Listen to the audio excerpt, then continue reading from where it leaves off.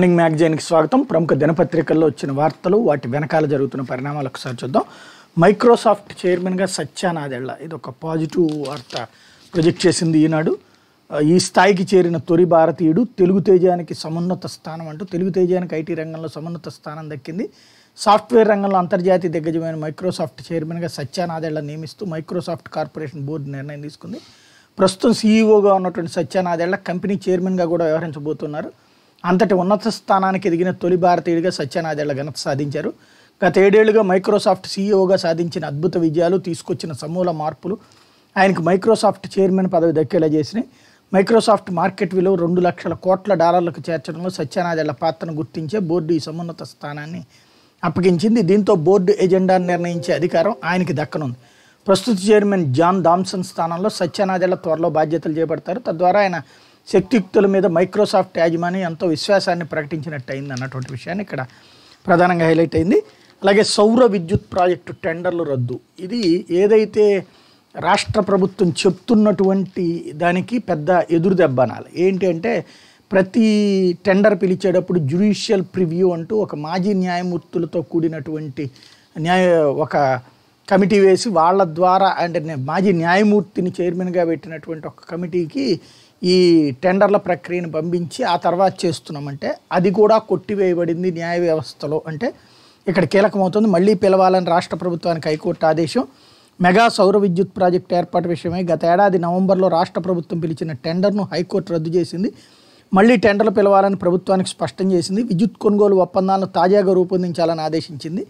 High court న్యాయమూర్తి justice M Ganga Rao గురువారం ఈ మేరకు తీ- కీలక తీర్పు ఇచ్చారు వ్యవసాయానికి ఆరు వేల నాలుగు వందల మెగావాట్ల విద్యుత్ అందించేందుకు ఉద్దేశించినటువంటి రాష్ట్రంలో పది సౌర విద్యుత్ ప్లాంట్లు పార్కుల ఏర్పాటుకు AP green energy corporation limited APGEL గత ఏడాది నవంబర్ ముప్పై ఒకటిన టెండర్లని ఆహ్వానించింది. అయితే ఇక్కడ ఈ టెండర్లోని రిక్వెస్ట్ ఫర్ సెలక్షన్ ముసాయిదా విద్యుత్ కొనుగోలు ఒప్పంద నిబంధనలు కేంద్ర విద్యుత్ చట్టం రెండు వేల మూడుకి విరుద్ధంగా ఉన్నాయని పేర్కొంటూ Tata power renewable energy limited ఈ ఏడాది జనవరిలో హైకోర్టును ఆశ్రయించింది. టెండర్ను రద్దు చేసి తాజాగా పిలిచేలా ప్రభుత్వాన్ని ఆదేశించాలని కోరింది. పిటిషనర్ సంస్థ తరపున సీనియర్ న్యాయవాది ప్రకాష్ రెడ్డి న్యాయవాది కిలార్ నితీష్ కృష్ణ వాదనలు వినిపిస్తూ కేంద్ర ఇంధన శాఖ రెండు వేల పదిహేడు ఆగస్టు మూడున జారీ చేసినటువంటి బిడ్డింగ్ మార్గదర్శకాలకు విరుద్ధంగా విద్యుత్ కొనుగోలు ఒప్పంద నిబంధనలు ఉన్నాయన్నారు.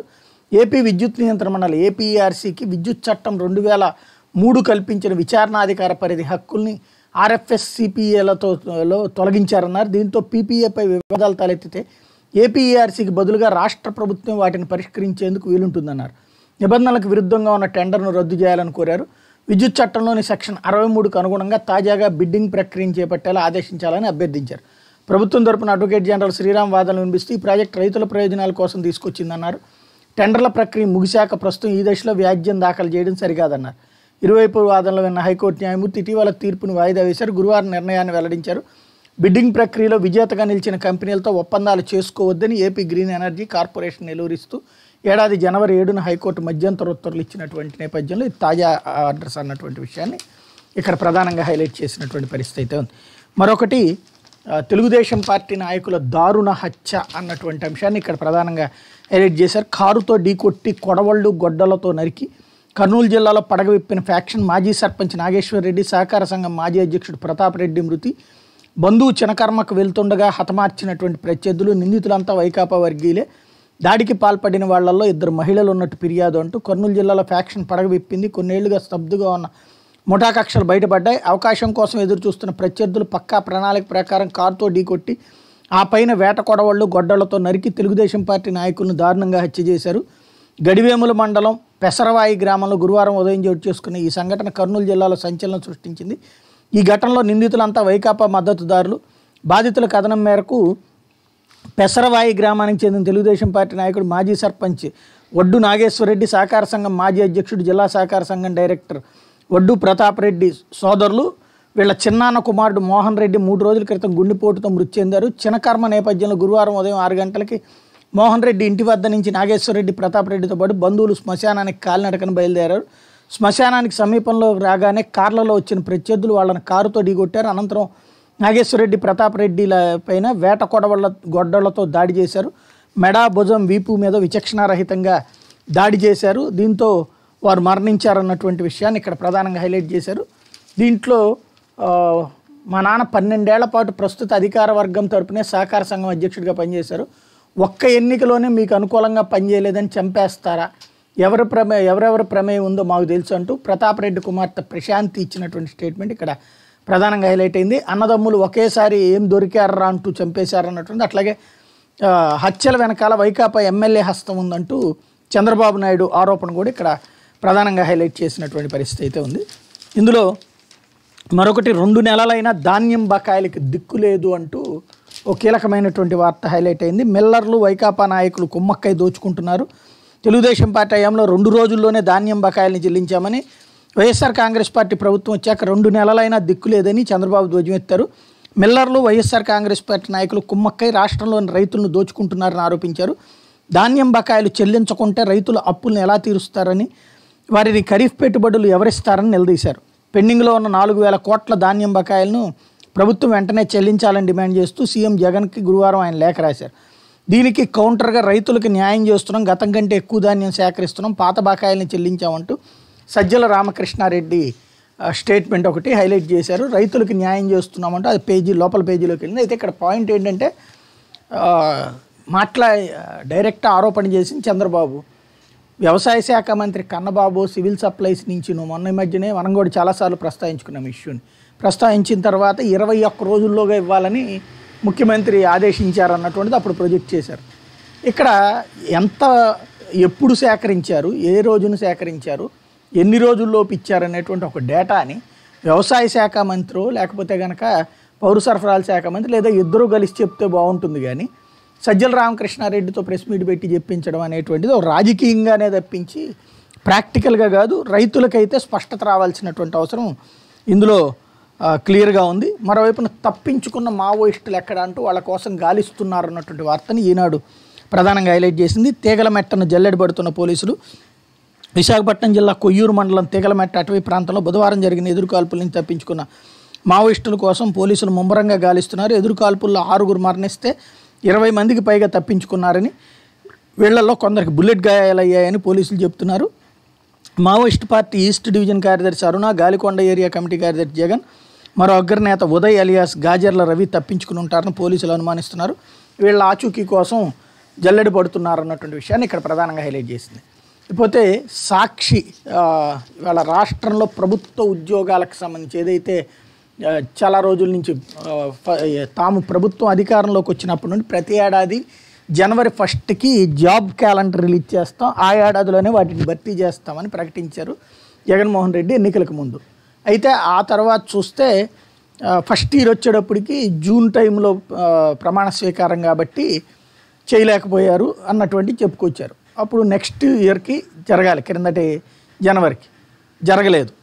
అప్పుడు స్థానిక ఎన్నికల హడావిడిలో ఉన్నాం కాబట్టి చేయలేదు అని చెప్పారు. ఆ తర్వాత కరోనా కారణం అంటే అసలు చెప్పని కూడా చెప్పరు సమాధానం సైలెంట్గా ఉండిపోయారు. ఈ ఏడాదికి వచ్చిన తర్వాత మళ్ళీ ఈ ఏడాది జనవరి అయిపోయింది ఇప్పుడు జూన్ నెల వచ్చింది. ఈ ఏడాది జనవరికి అయితే కరోనా లేదు కదా. అయితే ఈ కరోనాకి సంబంధించినటువంటి ఇంకా చివరిలో ఉన్నాయి. అప్పుడు ముగింపు స్టేజ్లో ఉన్నది కాబట్టి అన్నటువంటి కోణంలో ఆపుతా వచ్చారు. అప్పుడే జాబ్ క్యాలెండర్ రిలీజ్ చేస్తున్నారు. మళ్ళీ సైలెంట్ అయిపోయారు. ఇప్పుడు గత కొన్ని రోజులు ఒక నెలన్నర క్రితం జగన్మోహన్ రెడ్డి దీన్ని సమీక్షించమంటాం. గతంలో మనం దీని మీద దాదాపుగా మూడు నాలుగు సార్లు వీడియోస్ ప్రొజెక్ట్ చేస్తున్నాం ఎప్పటికప్పుడు ఏమైంది జాబ్ క్యాలెండర్ అన్నటువంటిది హామీ ఏమైంది అన్నటువంటిది మాట తప్పలేదు మాట తిప్పుతున్నారు. మడమ తిప్పలేదు కానీ మడమ తప్పుతున్నారు అన్నటువంటి వార్తను అప్పుడే హైలైట్ చేసాం ఆ తర్వాత ఆ పాయింట్ని హైలైట్ చేసాం అయితే మన వార్తల్ని చూసి అన్నటువంటిది కాదు కానీ ఇక్కడ తాజాగా నిరుద్యోగులలో అసంతృప్తి పెరుగుతున్నటువంటి నేపథ్యంలో తాము చేశామన్నటువంటి దాన్ని ప్రొజెక్ట్ చేస్తున్నది ఏంటి అంటే రెగ్యులర్ ఉద్యోగాలని ఇప్పటికే లక్ష ఎనభై నాలుగు వేల రెండు వందల అరవై నాలుగు భర్తీ చేశామని కాంట్రాక్ట్ ఉద్యోగాలు పంతొమ్మిది వేల ఏడు వందల ఒకటి భర్తీ చేశామని అవుట్సోర్సింగ్ మూడు లక్షల తొంభై తొమ్మిది వేల ఏడు వందల తొంభై ఒకటి భర్తీ చేశామని మొత్తం ఆరు లక్షల మూడు వేల ఏడు వందల యాభై ఆరు ఇప్పటికే భర్తీ చేశాము గత రెండేళ్ళలో రెండు వేల పంతొమ్మిది నుంచి అన్నటువంటిది హైలైట్ చేస్తున్నారు. ఇది గతంలో తెలుగుదేశాన్ని ఏదైతే విమర్శించేవాళ్ళో అదే డ్రామా తప్పించి మరొకటి లేదు. ఇప్పుడు ఇందులో కాంట్రాక్ట్ దాంట్లో కొత్తగా భర్తీ చేసేది ఏంది? ఏడాదికి ఒకసారి కాంట్రాక్ట్ రెన్యువల్ అవుతుంది. ఆ కాంట్రాక్ట్ రెన్యువల్ని భర్తీ చేసినట్టట. అట్లాగే అవుట్ సోర్సింగ్ అవుట్ సోర్సింగ్లో కొత్తగా భర్తీ చేసేది ఏంటి? మూడు లక్షల తొంభై తొమ్మిది వేల భర్తీ. ఇందులో అవుట్ సోర్సింగ్లో ఏం చూపెడుతున్నారు? వింత జోకుల్లోకెల్లా జోకుల్లోకి వెళ్ళా జోక్ ఏంటంటే గ్రామ వార్డు వాలంటీర్లు రెండు లక్షల యాభై తొమ్మిది వేలు భర్తీ అట. ఏంటది? వాళ్ళకి ఇచ్చేది గౌరవ వేతనం అని వీళ్ళే చెప్పారు. అది ఉద్యోగమే కాదని ఏకంగా జగన్మోహన్ రెడ్డి గారు లేఖ కూడా రాశారు. మరి దాన్ని ఉద్యోగాల భర్తీలు ఎలా చూపెడతారు? అది వాలంటీరు మీరు స్వచ్ఛంద సేవకులు అని రాసి మళ్ళీ అది ఉద్యోగాల కింద భర్తీ చేశామంటే మరి వినేవాళ్ళు ఎర్రోళ్ళు అయితే చెప్పేవాళ్ళు జగన్మోహన్ రెడ్డి గారు అన్నటువంటిది చూసుకోవాలి. రెండో పాయింట్ వచ్చేటప్పటికి ఇక్కడే రవాణా రోడ్లు భవనాలు తర్వాత మహిళా వయోజన శాఖ ఇవన్నీ కూడా అవుట్ సోర్సింగ్ అంటే ఏం లేదు. ప్రతి ఏడాది కూడా రెన్యువల్ చేసుకునేటువంటి కాన్సెప్ట్ వీటిని ఇక్కడ భర్తీ చేసినట్టు చూపించడం అంటే అమాయకత్వం కింద ఉంటుంది. ఓవరాల్గా చూసుకుంటే ఇక పైన భర్తీ చేయబోయేటువంటిది అంటే రెండు వేల ఇరవై ఒకటి ఇరవై రెండుకి మాత్రం పదివేల నూట నలభై మూడు భర్తీ చేయబోతున్నారు. ఇది అత్యంత ఇంపార్టెంట్ అయినటువంటి అంశం. బ్యాక్లాగ్ వేకెన్సీలు ఎస్సీ ఎస్టీ దివ్యాంగులు APPSC group one group two ముప్పై ఆరు పోలీసు నాలుగు వందల యాభై వైద్య శాఖ డాక్టర్ల అసిస్టెంట్ ప్రొఫెసర్ ఇట్లాంటివి పదివేల నూట నలభై మూడు. దాన్ని దీన్ని ముడిపెట్టి రాసుకొచ్చారు. అంటే ప్రభుత్వం వచ్చాక ఒక యాంగిల్లో గ్రామ సచివాలయాలది చేశారు అనే దానికి అంగీకరించవచ్చు. గ్రామ సచివాలయం. అయితే గ్రామ వార్డు సచివాలయాలు ఇక్కడ రెగ్యులర్ పోస్ట్ కింద చూపించారు. లక్ష ఇరవై ఒక్క వేల ఐదు వందల పద్దెనిమిది భర్తీ చేసినట్టు. ఇదేమో అవుట్సోర్సింగ్ కింద చూపించారనమాట ఇదే తేడా. ఇక్కడ ఇది రెగ్యులర్ పెట్టి ఇందులో ఒక వింతల్లా ఏంటంటే ఈ గ్రామ వార్డు సచివాలయాల వాళ్ళకి పిఎఫ్లు ఈ సిస్టమ్స్ లేవు. అదొక ఫిక్స్డ్ శాలరీస్ సిస్టమ్ కిందనే ఉంది. ఆ ఫిక్స్డ్ శాలరీస్ దగ్గరనే చర్చ నడుస్తుంది. ఇప్పుడు పిఎఫ్ది ఇస్తున్నారా లేదా తెలియట్లేదు. వాళ్ళకి తీసుకుంటున్నారు అని చెప్తున్నారు తీసుకోవట్లేదు అంటున్నారు. మిగతా ఇప్పుడు మిగతా గవర్నమెంట్ డిపార్ట్మెంట్స్లో ఉండేటువంటి బెనిఫిట్స్ వాళ్ళకి లేవు. ఇప్పుడు సీఎల్స్ అని లేకపోతే ఇట్లాంటివి ఏమైతే ఉంటాయో అవేమి లేవు. అట్లా ఏమీ లేకుండా రెగ్యులర్ ఉద్యోగులు ఎట్లా అవుతారు అప్పుడు? అప్పుడు కాంట్రాక్ట్ జాబ్స్ కిందకు వస్తుంది. కాబట్టి జాబ్స్ ఇవ్వలేదు అని చెప్పడానికి లేదు. ఇవన్నీ ప్రభుత్వ ఉద్యోగాలు ఇట్లాంటి భర్తీ చేయడం చాలా మంచి పరిణామం. కానీ ఆ తృప్తి లేకుండా చేస్తున్నది. అదొకసారి చెక్ చేసుకోవాలి. సేమ్ టైం ఓవరాల్గా పదివేల నూట నలభై మూడు ఉద్యోగాలు అన్నటువంటిది ఇక్కడ ఈ ఏడాది భర్తీ చేస్తామన్నటువంటిది క్యాలెండర్ ప్రకటించిన తర్వాత ఫస్ట్ టైం అని చెప్పాలి. మరోవైపున సాక్షి నాణ్యమైన విద్య లక్ష్యం అంటూ అంగన్వాడీల్లో విద్యాశాఖ అంగన్వాడీల్లో నాడు నేడు మీద ఉన్నత స్థాయి సమీక్షలో ముఖ్యమంత్రి జగన్మోహన్ రెడ్డి పిల్లలకి ఇంగ్లీష్ మీడియంలో మంచి విద్య అందించాలని తపన పడుతున్నాం చిత్తశుద్ధితో పనిచేస్తున్నాం పెద్ద ఎత్తున నిధులు వెచ్చిస్తున్నాం అంటూ నిన్న మాట్లాడినటువంటి మాటల్ని హైలైట్ చేశారు. అట్లాగే ఎనభై ఐదు శాతం పిహెచ్సిలో ఇద్దరు వైద్యులు అన్నటువంటి విషయాన్ని కూడా హైలైట్ చేశారు. ఇందులో ప్రతి మండలంలో ఐదుగురు డాక్టర్లు రెండు పిహెచ్సిలో ఇద్దరు వంతున నూట నాలుగులో ఒకరు. కొత్తగా నూట డెబ్బై ఎనిమిది పిహెచ్సీలు ఏర్పాటు చేస్తున్న ఆరోగ్య శాఖ వీటితో మొత్తం ప్రాథమిక ఆరోగ్య కేంద్రాల సంఖ్య పదమూడు వందల ఇరవై ఎనిమిది రాత్రిపూట ఫోన్ చేసిన డాక్టర్ ఆసుపత్రికి రావాల్సింది అన్నటువంటి విషయాన్ని ఇక్కడ ప్రధానంగా హైలైట్ చేసినటువంటి పరిస్థితి ఉంది. మరోవైపున ఈ పాత కక్షలతో సోదలు ఏదైతే కర్నూలు జిల్లా హత్యకి రెండవ కోణాన్ని వీళ్ళు ప్రొజెక్ట్ చేశారు. దాంట్లో వ్యక్తిగత కుటుంబ కక్షల నేపథ్యంలో దారుణం. కర్నూలు జిల్లా పాణ్యం నియోజకవర్గంలోని గడివేముల మండలం పెసరవాయి గ్రామంలో గురువారం అన్నదమ్ముల హత్య జరిగింది. వ్యక్తిగత కుటుంబ కక్షల నేపథ్యంలో టీడీపీ నేతలైన కేడీసీసీబీ మాజీ చైర్మన్ వడ్డు ప్రతాప్ రెడ్డి మాజీ సర్పంచ్ వడ్డు నాగేశ్వరరెడ్డి హత్యకు గురయ్యారు. జీపుతో ఢీకొట్టి కత్తులతో నరికి హత్య చేశారు. టీడీపీ ప్రభుత్వ హయాంలో వైఎస్ఆర్సీపీ నేత చెరుకులపాడు నారాయణ రెడ్డి హత్య జరిగిన తర్వాత ప్రశాంతంగా ఉన్న జిల్లాలో ఈ హత్యతో ఉలిక్కిపడింది. గ్రామస్తులు పోలీసులు తెలిపిన మేరకు వడ్డు ప్రతాప్ రెడ్డి నాగేశ్వర రెడ్డిల సమీప బంధువు మోహన్ రెడ్డి మూడు రోజుల కిందట మరణించారు. మూడో రోజు దినకర్మ నిర్వహించేందుకు ప్రతాప్ రెడ్డి నాగేశ్వర రెడ్డి మరికొందరు గురువారం శ్మశానానికి వెళ్తుండగా కొందరు వెనక నుంచి జీప్తో దిగొట్టారు. తర్వాత జీప్లో నుంచి దిగి కత్తులతో నరికి పరారయ్యారు. దీంతో వీళ్ళందరూ వీళ్ళిద్దరూ అక్కడికక్కడే మృతి చెందారు. వీళ్ళతో పాటు ఉన్న వెంకటేశ్వర రెడ్డి సుబ్బారెడ్డి వెంకటేశ్వర రెడ్డి గాయపడడంతో నంద్యాల ప్రభుత్వ ఆసుపత్రికి తరలించారు. ప్రతాప్ రెడ్డి భార్య లక్ష్మీదేవి ఫిర్యాదు మేరకు పదమూడు మందిపై కేసు నమోదు చేశారు. ప్రధాన నిందితులుగా భావిస్తున్న రాజారెడ్డి శ్రీకాంత్ రెడ్డి కేదార్నాథ్ రెడ్డి పరారీలో ఉన్నారు. కక్షల నేపథ్యం ఏంటంటే రెండు వేల పదమూడు సర్పంచ్ ఎన్నికల్లో రాజారెడ్డి నాగేశ్వర రెడ్డి నామినేషన్లు దాఖలు చేశారు. అప్పట్లో మాజీ మంత్రి ఏరాసు ప్రతాప్ రెడ్డి రాజీ చేసి చెరో రెండున్నరేళ్ళుగా సర్పంచ్గా కొనసాగేందుకు నిర్ణయించారు. ఈ ఒప్పందం మేరకు రాజారెడ్డి నామినేషన్ ఉపసంహరించుకోగా నాగేశ్వరరెడ్డి సర్పంచ్గా ఏకగ్రీవం అయ్యారు.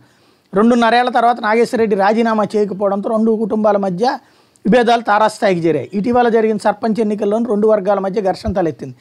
రాజారెడ్డి సోదరుడి కుమారుడు శ్రీకాంత్ రెడ్డి ప్రతాప్ రెడ్డి కొట్టుకున్నారు. శ్రీకాంత్ రెడ్డిని చంపుతానని ప్రతాప్ రెడ్డి అన్నట్టు తెలియడంతో తామే ప్రతాప్ రెడ్డిని ఆయన సోదరుడు నాగేశ్వర రెడ్డిని చంపాలని నిర్ణయించుకున్నట్టు తెలిసింది. ప్రతాప్ రెడ్డి గతంలో రౌడీ షీటు గడివేముల్లో తొంభై ఆరు జనవరి పదకొండు గ్రంథివేముల హేమసుందర్ రెడ్డిపై ఒడ్డు సోదరులు ప్రతాపరెడ్డి నాగేశ్వరరెడ్డి నాగేశ్వర రెడ్డి చేశారు. తర్వాత ఏ దాడికి మరోసారి పెరవాయిలో హేమసుందర్ రెడ్డి ఇంట్లో ఉండగా నాటు బాంబులతో దాడి చేశారు. దీంతో సోదరులు ఇద్దరిపైన హత్యాయత్నం కేసులు నమోదైన రెండు వేల సెప్టెంబర్ ఇరవైన ప్రతాప్ రెడ్డిపై రౌడీ షీట్ తెరిచారు. టీడీపీ అధికారంలో ఉన్నప్పుడు రెండు వేల పదహారులో రౌడీ షీట్ తొలగించారు. గతంలో రాజారెడ్డి తండ్రి వెంగళరెడ్డి కారులో వస్తుండగా బాంబులు పేలి మృతి చెందారు ప్రతాప్ రెడ్డి నాగేశ్వర రెడ్డి హత్య చేశారని రాజారెడ్డి అనుమానం అంటూ ఇక్కడ కుటుంబ తగాదాల వల్లే జరిగింది. రాజారెడ్డి నాగేశ్వరరెడ్డి మధ్య రెండు వేల పదమూడు నుంచి విభేదాలు ఉన్నాయని కర్నూలు జిల్లా ఎస్పీ ఫకీరప్ప చెప్పారు సర్పంచ్ పదవి విషయంలో తలెత్తిన వివాదంలో ఇరు వర్గాల మధ్య కక్షల నివురుగప్పి నిప్పులో ఉన్నాయని ఇదే హత్యకు కారణమని తెలుస్తోందని పేర్కొన్నారు. ఇక్కడ ఒకటే ఉంటుంది. ఫ్యాక్షన్ హత్యలలో జగన్మోహన్ రెడ్డో చంద్రబాబు నాయుడు దగ్గరుండి చేయించరు అక్కడ ఉండేటువంటి వాళ్ళు కూడా ఇంకోటి వాళ్ళు ఏదో పార్టీల మీద ప్రేమతో ఏమీ హత్యలు చేసుకోరు. ఆధిపత్య పోరు. దానికి ఇద్దరు చెరో పార్టీలకి చేరిపోతారు. రాజకీయ పార్టీలు ఏం చేస్తాయి? ఆ ఊళ్ళల్లో బలపడాలి అంటే ఒక వర్గం అటు ఉంది కాబట్టి రెండో వర్గానికి వీళ్ళు షెల్టర్ ఇస్తుంటాయి. ఇక్కడ దీంట్లో అప్పుడప్పుడు మీరు వైసీపీ వాళ్ళు చంపారని తెలుగుదేశం అని తెలుగుదేశం వాళ్ళు చంపారంటే వైసీపీ అని. ఇద్దరు కూడా ఆ పార్టీలకు ఓడబెరికేది ఏంటంటే ఆ ఊళ్ళల్లో అవతల వాళ్ళ కత్తులు పట్టుకు నిలబడితే వీళ్ళు కత్తులు పట్టుకు నిలబడడానికి ఇద్దరు సమాజానికి అయితే పనికిరారు. వాళ్ళు వాళ్ళు కొట్టుకు చేస్తారు సమాజంలో ఎప్పుడు అశాంతిని రేకెత్తిస్తారు. వీళ్ళకి పార్టీలు షెల్టర్లు ఇచ్చి ఎవరికి వాళ్ళు తాము పవర్లో ఉన్నప్పుడేమో అంతా బాగుందని పవర్లో లేనప్పుడేమో అంతా నాశనం అని చెప్తుంటారు. ఇద్దరు నీతులు చెప్పేవాళ్ళే ఇద్దరు వాళ్ళలోనూ వాళ్ళే ఉంటారు. వాస్తవంగా వీళ్ళెవరు పార్టీకి ప్రయోజనం ఏంటంటే ఆ ఊళ్ళల్లో పార్టీకి పదవినిప్పిస్తారు కాబట్టి వీళ్ళు చేసే అదవ పనులన్నిటికీ సపోర్టులు చేస్తుంటారు. మళ్ళీ అదేదో దేశానికి నష్టం అన్నటువంటి కోణంలో ప్రొజెక్ట్ చేస్తుంటారు. శాంతి భద్రతలని ఇక్కడ పోలీసులు ఏంటంటే ఇట్లాంటి వాటిట్లో చూసి చూడనట్టు పోతుంటారు. ఎందుకంటే వాళ్ళకి పోయేది ఏం లేదు. వాళ్ళ ఉద్యోగం వాళ్ళు చేసుకుని పోతే ప్రశాంతంగా ఉంటారు అన్నటువంటి కోణమే ఉంటా ఉంటుంది. అలాగే ప్రత్యామ్నాయ భూమి చూపండి అంటూ వైద్య కళాశాల కోసం వ్యవసాయ పరిశోధనా కేంద్రం భూమిని ఇవ్వడాన్ని అభ్యంతరం వ్యక్తం చేస్తూ అడ్వకేట్ జనరల్కి హైకోర్టు ఇచ్చినటువంటి ఆదేశాల్ని హైలైట్ చేసింది సాక్షి. మరోవైపున ఆంధ్రజ్యోతి బ్యాంకులు బెంబేలు అన్నటువంటి వార్తని బాగా హైలైట్ చేసింది. ఎడాపెడా రాష్ట్ర సర్కారు గ్యారంటీలు. పరిమితికి మించిన పూచికత్తు అప్పులు ఆర్బీపై ఆర్బీఐపై భరోసాతో ఇచ్చిన బ్యాంకులు పరిమితికి లోబడితేనే మా బాధ్యత. తేల్చేసిన భారతీయ రిజర్వ్ బ్యాంక్ గరిష్టాన్ని మించి ముప్పై వేల కోట్ల గ్యారెంటీలు నమ్మి కొత్త అప్పులు ఇవ్వని బ్యాంకర్లు. ఇప్పుడు చిన్న బ్యాంకుల మీద ఆశలు అన్నటువంటి విషయాన్ని ప్రధానంగా హైలైట్ చేసింది. వెరీ సింపుల్ ఏంటంటే ఇప్పుడు ఆర్బీఐ వచ్చి రాధాకృష్ణ గారికో లేకపోతే ఆంధ్రజ్యోతి యాజమాన్యానికో ప్రత్యేకంగా ఫోన్ చేసి చెప్పదు. వీళ్ళు ఆంధ్రజ్యోతిలో వార్తలు చూసి ఆర్బీఐ కూడా ఉండదు. ఇంతకుముందే చెప్పుకున్నాం మూడు శాతం నుండి ఐదు శాతం కరోనా సందర్భంలో పెంచుకున్న పెంచింది కేంద్ర ప్రభుత్వం. దానికి అనుగుణంగానే అప్పులు తీసుకుంటారు. అంతకు మించి తీసుకోవడం లేదు. వేరేగా కార్పొరేషన్ల పేరుతో కూడా తీసుకుంటారు. అది చంద్రబాబు గారి హయాంలో కూడా జరిగింది. ఇప్పుడు అర్జెంటుగా రాష్ట్ర ప్రభుత్వం గద్దె దిగాలి అంటే వచ్చే ఎన్నికల్లో తెలుగుదేశం గెలవాలి అంటే సంక్షేమ పథకాలు ఆగిపోవాలి. సంక్షేమ పథకాలు ఆగిపోవాలంటే రాష్ట్ర ప్రభుత్వానికి అప్పులు పుట్టకూడదు. అప్పులు పుట్టకూడదు అంటే భయపడాలి అప్పులు ఇచ్చేటువంటి వాళ్ళు. అది ప్రభుత్వ బ్యాంకులు భయపడాలా? ప్రైవేట్ బ్యాంకులు భయపడాలా? ఇప్పుడు ఒక రాష్ట్ర ప్రభుత్వం ఏదన్నా తనఖా పెట్టిందంటే ఏ బ్యాంక్ కూడా వద్దంటాడు? ఇవాళ రోజున మనకి ఫోన్ చేసి పర్సనల్ లోన్ వద్దురా మొర్రు అంటున్నా సరే తీసుకోండి తీసుకోండి తీసుకోండి అని చెప్పేసి ఫోన్ల మీద ఫోన్లు చేస్తున్నారు. బ్యాంకుల దగ్గర డబ్బులు వాళ్ళు తిప్పుకుంటేనే కదా డబ్బులు వచ్చేది. ఇప్పుడు ప్రభుత్వానికి అప్పిచ్చారనుకుందాం ప్రభుత్వం ఏమైనా ఎగేసి పారిపోద్దా? ఇంకోటి ప్రతి ఏడాది కూడా ఖచ్చితంగా కట్టి తీరాల్సిందే అవి ఆటోమేటిక్గా. అది కట్టను అనడానికి వీలుండదు. దానికి ఆటోమేటిక్గా తనఖా పెడుతున్నారు. తనఖా పెట్టి ప్రభుత్వమే అప్పు అడిగితే ఇవ్వడానికి ఏ బ్యాంకుకి బాధ? రిజర్వ్ బ్యాంక్ వాళ్ళు ఫీల్ అవుతున్నారు. ఇక్కడ ఏంటంటే ముందు ఒక అల్లకల్లోలం సృష్టించాలి. ఇక్కడ అర్జెంటుగా సంక్షేమం ఆగిపోతే ప్రజలకి డబ్బులు ఇవ్వడం ఆపేస్తే ప్రభుత్వాన్ని మీద వ్యతిరేకత వస్తుంది. అప్పుడు కానీ మనం కోరుకున్నోళ్ళు పవర్లోకి రారు అని రోజు సమాజంలో ఒకటి పారిశ్రామికవేత్తని భయపెట్టాలి ఇప్పుడు. ఏదైతే ఫ్రాంక్లిన్ సంస్థ గురించి వాడిదే ఓ పక్కన సెబీ ఉత్తర్వుల మేరకు కేసుల్లో ఉండి కొట్టుకు చేస్తుంటే ఈ కొత్త వాటికి ప్రారంభానికే నిషేధిస్తే దాన్ని కూడా అన్యాయం అయిపోతుంది అన్నటువంటి కోణం రాసుకొస్తారు. అంటే ఇంతకు ముందేమో అట్లాంటి విషయాల్ని ప్రతిపక్షం హైలైట్ చేసినా మీడియా హైలైట్ చేసినా మీరు రాష్ట్ర ద్రోహులు రాష్ట్ర ప్రయోజనాలని నాశనం చేసేస్తున్నారు రాష్ట్రం అభివృద్ధి చెందడం మీకు ఇష్టం లేదా అంటూ ఎడిటోరియల్ కాలమ్స్ రాశారు. ఇప్పుడేమో అవే రాసి రాష్ట్ర ప్రయోజనాల కోసం రాస్తున్నామని చెప్తున్నారు. అంటే ఎలా కావాలంటే అలా మలుచుకోవచ్చు. ముందు ఇక్కడ కావాల్సింది అయితే అర్జెంటుగా జగన్మోహన్ రెడ్డి ఐదేళ్ళు ఉండకూడదు. ఇప్పటికిప్పుడు ఆయన జైల్లో అన్నా పడేసేయాలి లేదంటే కనుక రాష్ట్రానికి ఎవరు డబ్బులు ఇవ్వకూడదు జనం అందరూ ఇక్కడ అడుక్కు తినే పరిస్థితి రావాలి. దానికి కారణం జగన్మోహన్ రెడ్డి అని జనాలందరూ కత్తులు కర్రలు పట్టుకుని వెళ్ళి దాడులు చేసేయాలి. అప్పుడు ఈ అల్లకల్లోలంతో ఏ రాష్ట్రపతి పాలన పెట్టేసేసి అప్పుడు మళ్ళీ అర్జెంటుగా ఎన్నికలు పెట్టేసేసి చంద్రబాబు గారిని సీఎం చేస్తే రాష్ట్రం మళ్ళీ సస్యశ్యామలంగా అద్భుతంగా ఉంటుంది. ఇది రోజు ఒక పాయిజనస్ విషంని జనం మెదళ్ళల్లో నాటుతూ ఇక్కడికి వచ్చే పారిశ్రామికవేత్తలను భయపెట్టేయాలి ఇక్కడికి వచ్చే వ్యాపారులను భయపెట్టేయాలి అప్పులు ఇచ్చే వాళ్ళని భయపెట్టేయాలి. అరాచకం జరిగిపోతుందన్నటువంటి ఫీలింగ్ కల్పించేందుకోసం తమ వంతు కృషి చాలా పర్ఫెక్ట్గా చేసుకుంటూ వెళ్తున్న జ్యోతి. ఈ విషయంలో వాళ్ళ గొప్పతనాన్ని మెచ్చుకోవాల్సింది ఏంటంటే ఆ స్వామి భక్తికి ఆ కమిట్మెంట్ని ఒప్పుకోవాలి. మరొకటి ఇక్కడ కీలకమైనటువంటి అంశం బయో ఈ టీకా. ఇది మంచి వార్త. ఇంతకుముందు కూడా అనుకున్నటువంటి తొంభై శాతం ప్రభావశీలత ఉంటుందని అంచనా రెండు డోసుల ధర రెండు వందల యాభై రూపాయలు. అక్టోబర్కి అందుబాటులోకి ప్రపంచమంతా టీకాల కోసం మనపైనే ఆధారపడుతుందని ఆధారపడుతుందంటూ అరోడా ఇచ్చినటువంటి స్టేట్మెంట్. భారతదేశంలో తయారవుతున్న బయోలాజికల్ ఈ టీకా కోర్న్ కోర్బేవాక్స్ కరోనా పైద పోర్లో గేమ్ చేంజర్గా మారే అవకాశం ఉందని Covid working group chairman SK Arora ఆశాభావం వ్యక్తం చేశారు. ఆ టీకా ప్రభావశీలత దాదాపు తొంభై శాతం దాకా ఉండొచ్చని ఆయన అంచనా వేశారు. ఈ టీకా ఫేజ్ త్రీ ట్రయల్ జరుగుతున్నాయని అక్టోబర్ నాటికి అందుబాటులోకి వస్తుందని తెలిపారు. ఈ టీకా రెండు డోసులు అత్యల్పంగా రెండు వందల యాభై రూపాయలకి వస్తుంది అన్నటువంటి విషయాన్ని ఇక్కడ ప్రధానంగా గుర్తు చేశారు. చాలా ఇంపార్టెంట్ అయినటువంటి విషయం. ఇంకోటి కరోనాకి చెక్ పెట్టే మాత్ర అంటూ ఇది ఒక మంచి వార్త. ప్రజలకు పనికొచ్చేటువంటి వార్తలు ఇవి రెండు కూడా. ఇందులో మూడో దశ పిల్లల మీద పెద్దగా ప్రభావం ఉండదు అన్నటువంటి అంశాన్ని కూడా ఇక్కడ ప్రధానంగా హైలైట్ చేశారు. ఇందులో కరోనాకి కరోనా చెక్ పెట్టే మాత్ర వచ్చి సంవత్సరానికే అందుబాటులోకి రాబోతోంది. సంవత్సరాంతానికి ఇరవై మూడు వేల కోట్లతో అమెరికా పరిశోధనలు చేస్తుంది. వైరల్ లోడ్ పెరగకుండా చేసే మందు వెళ్ళే లక్ష్యం. ఫైజర్ అటియా ఫార్మా ఔషధాలతో ట్రయల్స్ చేస్తున్నారన్నటువంటి విషయాన్ని ఇక్కడ ప్రధానంగా హైలైట్ చేసింది. అలాగే ట్విట్టర్ ఇర మన దేశంలో ఎప్పుడైతే ఆంక్షలు పెట్టారో నాలుగు నెలలు లక్ష కోట్లకి పైగా దెబ్బతిందన్నటువంటి వార్తని ఇక్కడ ప్రధానంగా హైలైట్ చేసినటువంటి పరిస్థితి ఉంది. అయితే లోపల పేజీల్లోకి తీసుకెళ్ళారు ఇది. ఇది అత్యంత ఇంపార్టెంట్ అయినటువంటి అంశం. దేశంలో ప్రతి ఒక్కరికి షేర్ మార్కెట్లో ట్విట్టర్కి నష్టం ఇరవై రెండు పాయింట్ ఐదు నాలుగు శాతం పడిపోయిన షేర్లు. ట్విట్టర్ మీద హైదరాబాద్లో ఫిర్యాదు టూల్ కిట్ కేసులో ఎండీ మీద కూడా విచారణ అన్నటువంటి విషయం ఇక్కడ ప్రధానమైనటువంటి అంశం అని చెప్పచ్చు. మరోవైపున టార్గెట్ మాన్సాస్ అంటూ మాన్సాస్ ట్రస్ట్కి సంబంధించినటువంటి అంశం మీదన అశోక్ గజపతి రాజు స్టేట్మెంట్ దోపిడీదారులకి మాన్సాస్లో స్థానం లేదు ఇసుక తవ్వకాల అనుమతి వివరాలు ఇవ్వండి ట్రస్ట్ కార్యాలయానికి అశోక్ గజపతి రాజు ఈవో కరస్పాండెంట్ గైర్హాజరు మీద ఆగ్రహం. ఇరవై ఒకటిలోగా ఆడిట్ వివరాలు ఇవ్వాలని ఆదేశం. మరోవైపు మాన్సాస్ లూటీ సంగతి తెలుస్తామంటూ వెల్లంపల్లి ఇచ్చినటువంటి స్టేట్మెంట్. ఇక్కడ చేతకానమ్మకి మాటలు ఎక్కువ అన్నటువంటి పాయింట్ ప్రభుత్వం దగ్గర స్పష్టంగా కనబడుతుంది. దేవాదాయ శాఖ దగ్గర మరింత స్పష్టంగా కనబడుతుంది. మాన్సాస్ ట్రస్ట్లో అక్రమాలు ఉంటే సంచయిత ఉన్నటువంటి ఈ ఏడాది కాలంలో ఏం సాధించినట్టు ఏం చేసినట్టు వీళ్ళు? ఎందుకు పట్టుకోలేదు? ఎందుకు అరెస్ట్ చేయలేదు? ఎందుకు కేసులు పెట్టలేదు? ఇప్పుడు కోర్టు ఆదేశించి మళ్ళీ ఆయన ప్రమాణ స్వీకారం చేస్తున్నప్పుడు చేయడం. అంటే ఆలయాలు ఆలయ ఆధారిత సంస్థల మీదన పెత్తనం చేయటం రాజకీయ పెత్తనం చేయటం చేతకానమ్మకి చేతలు ఎక్కువ అన్నటువంటి తరహాలో మాటలు ఎక్కువ తప్పించి చేతలైతే ఏమీ లేదు ఇక్కడ. నిజంగా అయితే కనుక ఏదైనా బాగు చేసి ఒక్క కొత్త సంస్కరణ మాన్సాస్ ట్రస్ట్కి సంబంధించి ఏమైనా తీసుకున్నారంటే ఒక్కటి చేయలేకపోయారు. ఇప్పుడు అంతా అయిపోయిన తర్వాత మాటలు ఎక్కువైపోయినాయి ఏదో చేస్తామంటూ వెల్లంపల్లి అక్కడ అశోక్ గజపతిరాజు చాలా పర్ఫెక్ట్ స్టేట్మెంట్ ఇచ్చారు. అసలు జీతాలు కూడా ఇవ్వలేదట స్టాఫ్కి ఇంకా ఆ సంచయిత ఆవిడ్ని మేము ఎత్తిన పెట్టుకుని ఊరేగినటువంటి వైఎస్ఆర్ కాంగ్రెస్ పార్టీని దీనికి సమాధానం చెప్పాలా? ఇది ఒక విచిత్రమైనటువంటి స్టేట్మెంట్లతో మాత్రం నడుపుకుంటూ వస్తున్నారు.